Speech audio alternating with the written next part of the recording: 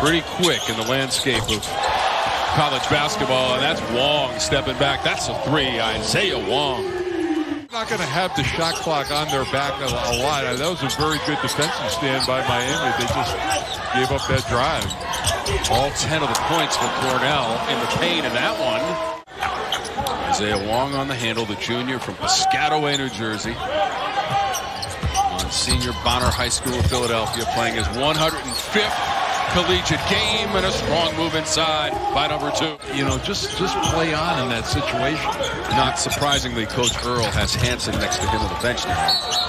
Wong trying to get the defender in the air, score the basket and foul for Isaiah Wong. He finishes in the lane, knock down a three. He's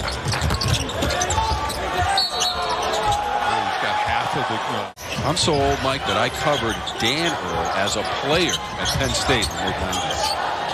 Wong. He's making it look easy tonight, Mike. In this game with Miami really trying to lock in on the three-point shot. Just to put this out there. Put it out there. Their season high in attempted threes is 46. Wong. Three ball. Money.